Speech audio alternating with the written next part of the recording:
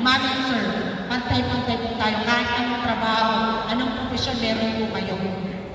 So, hindi tayo dapat nangilalamang ng kapwa, hindi tayo nanginira ng ating kapwa.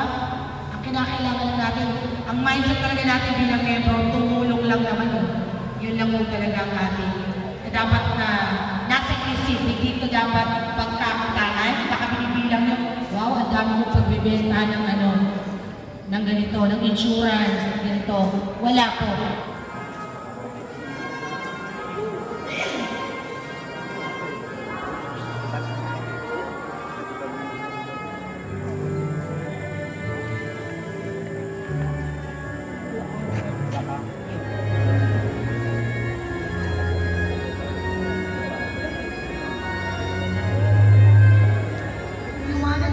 Sumasagisag ng katotohanan, buhay at pag-asa. Ang